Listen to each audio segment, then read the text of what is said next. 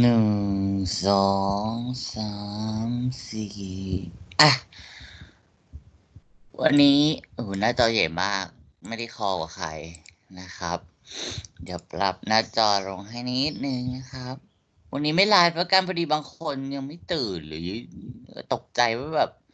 เป็นอะไรอยู่ๆขึ้นมาไลฟ์แต่เช้าดีดดิ้งอะไรขึ้นมาเมายาหรืออะไรนะครับ ไม่ได้เมาเหล้าไม่ได้เมายาก็นอนเต็มที่ด้วยนะครับ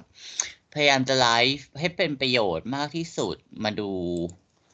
ว่าอันนี้เป็น Microsoft Teams อะโปรไหมไม่โปรมั้ง ใช้กล้องก็ข้างหลังเป็นรังแมงมุมลกนิดหน่อยนะครับ ที่บ้านเลี้ยงแมงมุมทารันทูล่านะครับ ทีนี้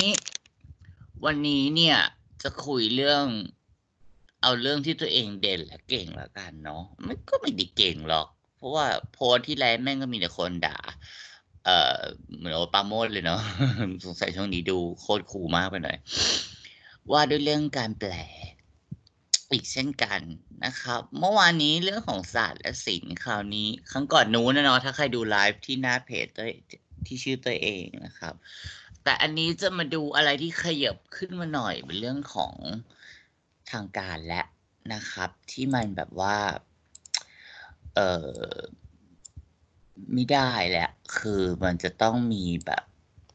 ความเป็นร่องเป็นรอยของภาษานิดหนึ่งเข้ามาที่เว็บของ CDC ลองปะดูนะครับ what is social distancing นะครับ ก็ก็โอเคนะ อืม ขอลองเอามาวางหน่อย คืออะไรพวกนี้มันเป็นของสาธารณะนะครับ มันก็สามารถที่จะเผยแพร่ข้ามภาษาได้นะครับ ออนุญาตเปิดฟังก์ชัน Word ที่เป็น compare จำเป็นต้องเห็นหน้าไหมเนี่ย แล้วแล้วฉันต้องเปิดหน้าไหมเนี่ย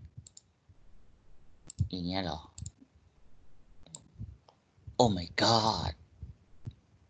สวิตช์ camera ไม่ต้องหรอกมั้ง turn camera on อะเดี๋ยวลองดูที่มันอัดละกันนะครับ ว่ายังไง มีสอง document ดันเซฟดั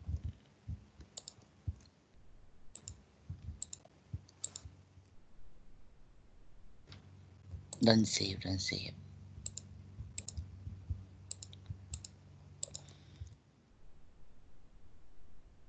จริงๆวางแบบนี้ก็ไม่ค่อยชอบนะสำหรับนักแปลจริงๆเขาชอบวางเป็นแนวนอน แล้วก็แล้วก็เขียนกันมากกว่าแต่ก็ anyway ช่างมันเถอะนะครับ ไม่เซฟด้วยอะถ้ามันหลุดก็หลุดเอาไม่เก็บอีกเก็บเก็บอ่าโอเค โดยบริบทนะครับ พอดีใช้ตัวนี้เรคคอร์ดเพราะว่าหน้าจอจะไม่ได้อยู่นิ่งกับที่นะครับ โอเค ประเด็นแรกก่อนเลย จะแปลตัวนี้ what is social distancing นะครับ ภาษาไทย จะได้ยินคำที่แบบว่าการเว้นระยะห่างทางสังคม ถามคือ ราชบัณฑิตกำหนดย่างก็ Google ว่ากันไป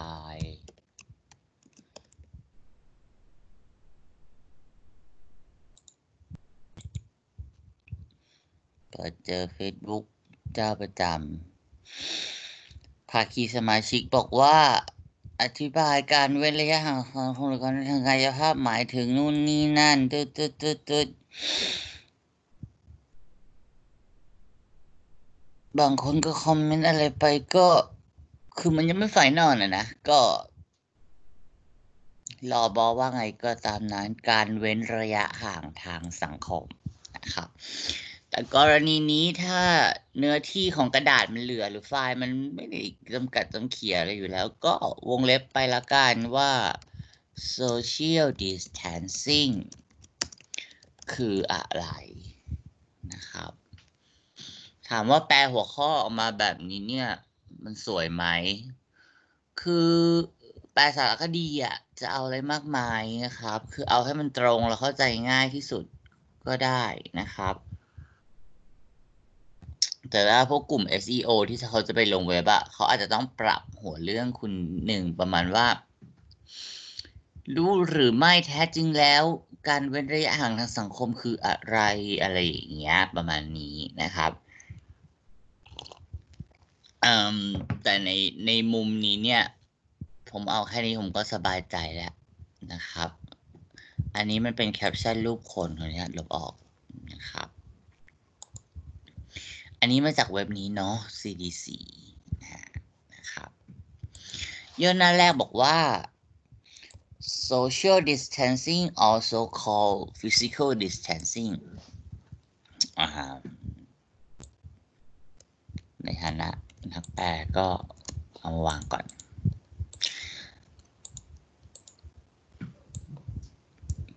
การเว้นระยะห่างทางสังคม also called หรือที่เรียกกันว่า การเว้นระยะห่างทางอะไรกายทางรบว่าไว้ว่า การเว้นระยะห่างทางกายภาพ ก็เข้าใจว่าท่านก็น่าจะดูจากเว็บนี้เหมือนกันแหละมั้งอุ้ยขอโทษนะครับ ก็ว่ากันไปของมันเปลี่ยนไม่ได้ก็วงเล็บไว้ด้วย เพราะว่ามันยังไม่นิ่งนะครับ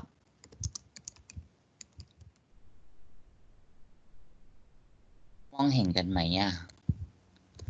ไม่น่าจะเห็นได้ดังนั้นจะปรับเป็นบนล่างละกัน ปรับได้ครับปรับได้ไม่ไม่ไม่มีใครตาย คือโปรแกรมมันเป็นธาตุเราเราไม่ได้เป็นธาตุโปรแกรมนะครับอ่าอุ้ยเห็นหน้าเรานิดหน่อยก็ไม่เป็นไรเนาะนี่เราย่อริบบอนอะไรต่ออะไรได้ คือใช้เทคโนโลยีเนี่ยไม่ต้องกลัวนะว่ามันจะกัดหรือว่าแบบเฮ้ยเครื่องมันจะแฮงหรือมันจะอะไรแฮงก็ซ่อมครับ พังก็เปลี่ยนใหม่ เอออย่างอย่างเต้ยเนี่ย เคยแบบเฮ้ยถึงขั้นแบบ ไปเที่ยวเมื่อก่อนผู้ชายทิ้งเว้ยกลับมาบ้านแบบทำเมาทำฟาดงวงฟาดงานทำน้ำหกใส่แป้นคอมสามวันเองมึงซื้อมาพังก็มีนะครับเพราะฉะนั้นการจะสอนออนไลน์ได้มันไม่ได้เรียนวิทย์มัน มันแค่วันเดียวนะครับ ทุกอย่างมันต้องมีหายนะเกิดขึ้นมาก่อนนะครับ ความสำเร็จมันถึงจะต้องเกิดนะครับ เพราะฉะนั้นที่เอามาไลฟ์แปลไม่ได้ไลฟ์เอาที่มาเรคคอร์ดแปลวันนี้ก็ก็ไม่ได้คิดว่ามันจะดีเดย์อะไร แล้วก็ไม่ได้จะเอาชนะนักแปลรุ่นหลังๆ ที่มันเด็กกว่า หรือว่านักแปลรุ่นเดอะๆที่มันแก่กว่า แล้วมีประสบการณ์ ผมไม่ได้ว่าตรงนั้น ผมมองแค่ว่า เออ เราทำได้ เรารู้เทคโนโลยี แล้วก็ไม่ได้ไปทำเป็นหัวใครนะครับ เครื่องไม้เครื่องมือก็คือ แถมไม่ทำนอกเวลางานประจำด้วยซ้ำเจ้านายก็ไม่ไม่ได้ว่าอะไรด้วย เดี๋ยวสักถึงเวลางานแปดเก้าโมงก็จะกินข้าวเช้าออกไปทำงานแล้วอะไรเงี้ย เพราะฉะนั้นใครจะด่าก็ด่าจะว่าก็ว่านะครับ เลิกสักทีกระแสสังคมของคนไทยที่จะมาแบบ เอ่อ บูอะไรนะบูลลี่ใช่ไหมคือแบบแทงกันชาตินี้ก็ไม่ต้องมีคนออกมาแปลหรอก เออ ก็จ้างแปลกันไปใครแปลยังไงก็ว่างั้นแปลผิดก็ว่าผิดมานีมานะ ก็เรียนกันไป ผิดก็ผิดครับ เออ แต่มาบอกว่าผิดอย่างนี้จบมาได้ยังไง คือแบบคุณเอาสถาบันมาเกี่ยวข้องนึกออกปะจบอย่างนี้พ่อแม่สั่งสอนมายังไงอะไรเงี้ยคือแบบ เฮ้ยคุณอยู่ในสังคมที่มัน atomize แล้วมัน encapsulate แล้วอย่างที่ผมบอกคือ individualize อะคนเราอยากจะนำเสนอตัวตนที่เราเป็นอะไรก็นำเสนอไปอะนอกเรื่องอีกแล้วกูอะต่อแล้วครับ การเว้นระยะห่างทางสังคมหรือที่เรียกกันว่า การเว้นระยะห่างทางกายภาพนะครับคำว่าการต้องมีไหมอย่างที่บอกภาษาไทยมันชอบมีอุปกรณ์ห้อยท้ายมาเยอะก็หรือที่เรียกว่าการเว้นระยะห่างทางกายภาพนะครับ วงเล็บ social distancing นะครับ อ่า ทีนี้คำต่อมาคือช้างที่พะที่ต่อมาคือหมายถึงนะครับ อ่า แล้วก็พิมพ์ไปหมายถึง keeping space คือการรักษาอะไรระยะห่างหรือพื้นที่นะครับก็พิมพ์ไปการรักษาระยะห่าง อันนี้แปลตรงตัวถูกปะ between ระหว่างถอดออกมา ไม่มีปัญหา ตัวของเรา อันนี้อยู่ที่มุมมองว่าคุณเลือกตัวของเราหรือตัวของคุณนะครับ และบุคคล อื่นๆ outside of your home นะครับ นอกเคหะสถานเราเอง your home ที่นี่เราคงไม่ได้แปลว่าบ้านนะเนาะเพราะภาษาเอาเป็นทางการนะครับ to practice social or physical distancing นะครับ เราก็จะพิมพ์ว่า หลักของการปฏิบัติถูกปะคือเรากำลังจะเข้าสู่บุลเลตที่บอกว่า ต้องทำอย่างนั้นอย่างนี้นะ อะไรอย่างนี้ประมาณนั้นนะครับ ได้แก่ เรื่องต่อไปนี้นะครับ แล้วเราก็ค่อยบุลเลต stay at least six feet or about two arm lengths from other people นะครับ ประเด็นนี้ก็คนละมาตราการวัด เมืองนอกนิยมนิยมวัดความสูงด้วยฟีตกับกับน้ำหนักเป็นปอนด์ใช่ปะเมืองไทยเราใช้เป็นเมตรกับกิโลคนละเมตริกกันนะครับ ก็ก็ปรับเอาก็ได้ครับคือ พยายามอยู่ห่างนะครับ จากบุคคลอื่นราว แล้วแต่นะ อันนี้หกฟุตจากเขาวงเล็บไว้ให้อยู่แล้ว หรือเอ่ยหกฟุตตรงนี้ หรือประมาณสองช่วงแขน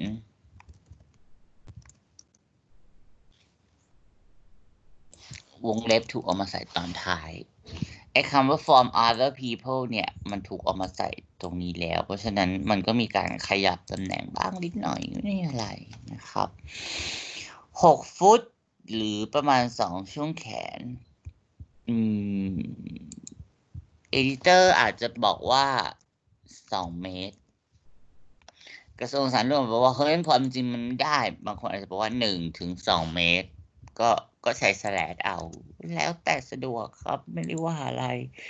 ภาษาพ่อภาษาแม่คือภาษาไทยอยู่แล้ว คุณจะแปลยังไงเรื่องของคุณให้ความมันครบก็จบแค่นั้นนะครับ do not gather in groups นะครับ จะเห็นว่าเป็นประโยคคำสั่งนะครับ พยายามขึ้นบุลเลตด้วยคำกริยาให้เหมือนเหมือนกันนะครับ ถ้าอันนี้เขาเป็นประโยคสั่งห้าม คุณก็เคืนคุ้นเหมือนกันด้วยว่า อย่า รวมตัวกันเป็นกลุ่มกลุ่มนะครับผ่านมาสองบุลเลตคุณเริ่มเห็นแล้วว่าในประโยคภาษาอังกฤษ grammar มันเป็นตัวช่วยของมันเองอยู่แล้วว่า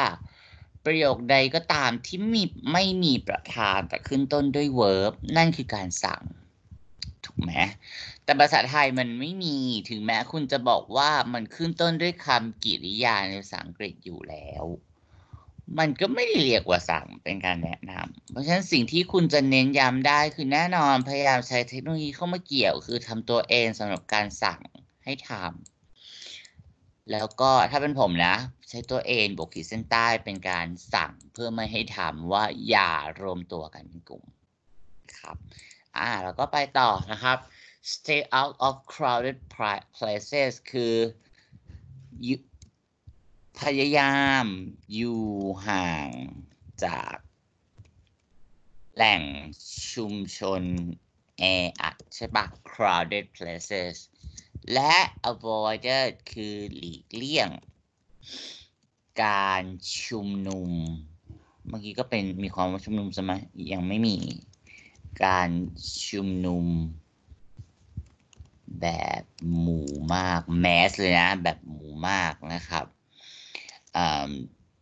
ก็ใช้อย่างนี้ mass gathering ก็ใช้อย่างนี้ไปก่อน หรือว่าถ้าไม่ชอบหรือเรื่องการชุมนุม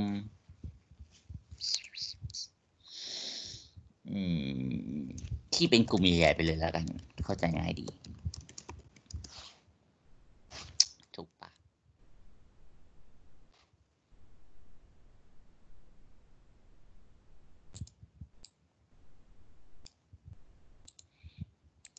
ต้นทางเลย บูเลตสามตัว ครบแล้วนะครับฉะนั้นสิ่งที่ไกด์คือใช้ตัวเองนะครับ สิ่งที่ห้ามคือใช้ตัวเองเช่นการบวกขีดเส้นใต้หลีกเลี่ยง avoid นะครับ เพราะฉะนั้นก็ก็พอจะมองเห็นได้ ถ้าใช้ใส่สีได้ก็ใส่ก็ไม่เป็นอะไรนะครับ ถัดมา ประโยคย่อหน้าที่สองนะครับ นอกเหนือจากโควิดขีดสิบเก้านี่เป็นอะไรที่เขียนง่ายสุดแล้วในการแปลนะครับ อ่านนายทีหรืออ่านสิบเก้าก็ไม่ไม่มีใครว่าอะไรนะ ตอนนี้ everyday steps to prevent covid 19ใช่ปะนอกเหนือสเต็ปในที่นี้ไม่ได้แปลว่าก้าวนะครับ นอกเหนือจาก วิถีชีวิตประจำวันที่ ต้องพยายาม หลีกเลี่ยงโควิด -19 แล้วนะครับคำว่า in addition to เนี่ย มันมักจะมากับนอกเหนือจากจุดๆ ๆ และแล้วเสมอนะครับ เพราะฉะนั้นเวลาคุณเจอคำนี้ส่วนใหญ่เราจะตะไว้ในใจคือ เราจะต้องรอแล้วไว้ไว้ไว้ท้ายสุดนะครับ ก็คือพยายามไม่หลุดซึ่งส่วนแดงเนี่ยมันจะต้องสั้น เพราะไม่งั้นคนอ่านจะหลุดนะครับ นอกเหนือจากวิถีชีวิตประจำวันที่ต้องพยายามหลีกเลี่ยงโควิด -19 แล้วนอกจาก วิถีชีวิตกับอะไรดี กิจ วัตร กิจวัตรแปลว่าประจำวันอยู่แล้วใช่ไหมนอกจากกิจวัตรที่ต้องหลีกเลี่ยงโควิด -19 อยู่แล้วเนี่ยนะแนะนำว่ามันขาดประธาน keeping space between you and other is one of the best too นะครับ ภาษาอังกฤษเนี่ยละประธานได้ประธานในที่นี้คือเจอรันนะครับ แต่ภาษาไทยเนี่ยยังเน้นความเป็นประธาน มันต้องหาเจ้าภาพนะครับ เราก็มาจะใส่ว่าคุณควรยึดหลัก การรักษาระยะห่าง ระยะห่างแหละระหว่างคุณกับบุคคล อื่น ไว้เสมอ is one of the best tool we have นะครับถ้าผมจะปรับในส่วนนี้ ผมจะปรับว่า เขียนให้มีลอจิกตามภาษาไทย คือเพราะนั่นนั่นที่ว่าคือการรักษาระยะห่างระหว่างคุณ หลักการหลักการรักษาระยะห่างนะครับ เพราะนั่นไอ้คำว่านั่นที่ว่าเนี่ยเป็น reference แล้วนะครับ โยงไปถึงหลักการระยะห่างระหว่างคุณ เพราะนั่นคือหนึ่งในเครื่องมือที่เราจะทำได้ เพื่อ avoid ใช้ซ้ำอีกแล้ว เมื่อวานเมื่อกี้ก็ avoid นะครับ ถ้าผมเป็นโคศกผมคงว่า avoid ผมใช้เยอะแล้วหลีกเลี่ยง ใช้ว่าต่อสู้กับไปเลย การถูก expose แปลว่าถูกสัมผัสนะครับ กับการตกอยู่ในสภาพเสี่ยง expose กัน to be exposed to แปลว่าคุณตกอยู่ท่ามกลางแสงแดดที่ร้อนจ้า คุณตกอยู่ท่ามกลางสภาพแวดล้อมที่มันอันตรายนะครับ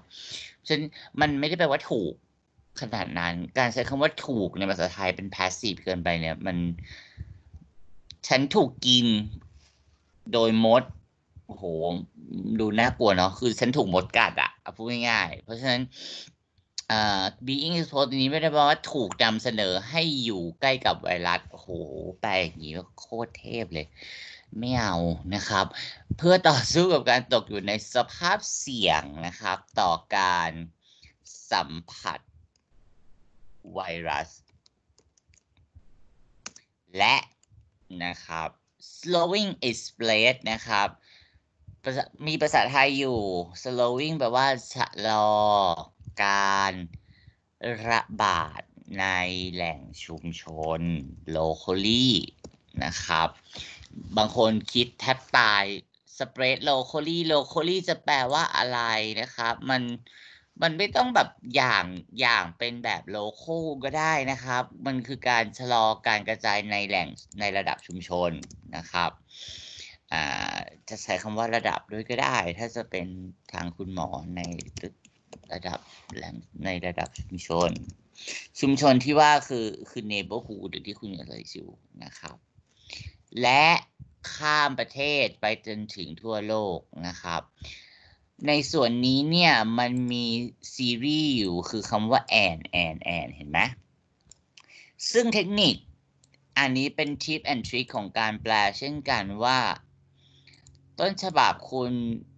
ซ้ำซ้อนด้วยคำว่า and เยอะแล้วอะคุณจะใช้ and ในภาษาไทยเพิ่มขึ้นมาอีกเนี่ย มันก็ดูแบบเฝือเนาะมีเทคนิคคือ เราจะใช้และชะลอรวมทั้งการระบาดข้ามประเทศ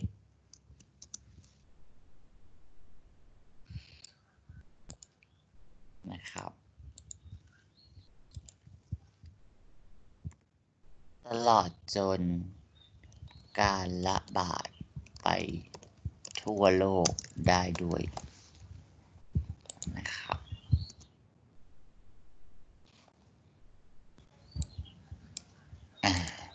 เพราะฉะนั้นการใช้เทคนิคถ่ายโอนจากคำว่าแอนแอนแอนข้างบนมาเป็น และรวมทั้งตลอดจนเนี่ยยังคงเป็นอะไรที่ คลาสสิกสำหรับนักแปลอยู่นะครับสำหรับการแปลในบริบทประเภทแบบนี้นะครับ ถามว่าหลายองค์กรบอกว่านายให้แปลทางการเขามี WHO มาเขามีแผนสุขภาพมานู่นนี้นั่นทำยังไงคืออ่านเข้าใจนึกออกปะคือแบบ เข้าใจทุกคำพูด ที่เขาบอกแต่ว่าถ่ายทอดไม่ได้นะครับจริง ๆ มันเป็นทักษะ ที่ต้องฝึกแล้วก็ลองพิจารณาดูว่าเราจะอ้างอิงหลักเกณฑ์ก่อนนะครับ สิ่งที่เขาพูดเขาเป็นคือยังไงนะครับ อย่ามาเมนเรื่องการสะกดผิดของฉันนะเพราะว่าฉันผิดทุกอันที่ฉันสะกด เพราะว่าความคนที่ความคิดเร็วกว่าเขียนเนี่ยสะกดผิดแน่นอนนะครับ เพราะฉะนั้นกับเทคนิคการใช้และตลอดจนอ่าและรวมทั้งตลอดจนเนี่ยมันโคตรคลาสสิกเลยในการแปลนะครับ ซึ่ง คลิปของวันนี้ก็สั้นๆนะครับ แล้วก็ลองเก็บไปใช้ดูสำหรับคนที่จะลองใช้การแปลเป็นกระบวนการหนึ่งในการถ่ายโอนความเพื่อวัดความเข้าใจของเด็กหรือว่าใช้สอนหนังสือนะครับ เรื่องคำศัพท์ตัวนี้ก็ไม่ไม่ได้มีอะไรซับซ้อนนะ เท่าที่เห็นคือคำที่จะสอนก็คือคำว่า expose คำนี้ไม่เคยใช้เป็น active หรือใช้ก็น้อยมาก ส่วนมากใช้เป็นรูปแบบของ passive voice ตลอดการนะครับ อย่าไปสอนเด็กว่า expose จะใช้ active ได้เยอะนะครับ ไม่งั้นเดี๋ยว writing จะมีปัญหา อันนี้ผมเตือนนิดนึง เพราะว่าคำนี้ส่วนใหญ่โดย frequency แล้วอะ่ะ มันมันใช้เป็น passive มากกว่า นะครับไม่ใช่ AR เปิดมา expose ว่าถูกเผยให้เห็นถึง ผมบอกได้เลยดิกชันนารีจะบอกว่าถูกเผยให้เห็นถึง หรือแปลว่าอยู่ท่ามกลาง แต่คุณแปลไม่ได้หรอกโดยดิกชันนารีนะเออ เอาจริง ๆ นะครับ เพราะฉะนั้นทั้งทั้งการเรียนการสอนภาษาอังกฤษ แล้วก็ทักษะการแปลก็มีประมาณนี้ของวันนี้นะครับ วันนี้ใช้ Microsoft Teams Record นะครับ รอสักครู่เดี๋ยวจะอัปโหลดขึ้นไปก็